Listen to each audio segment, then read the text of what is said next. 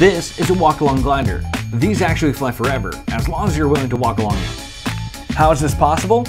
The board pushes the air up and over the board, and the glider will surf on that updraft. As long as I keep walking, the updraft continues, giving the glider lift and thrust, therefore flying forever.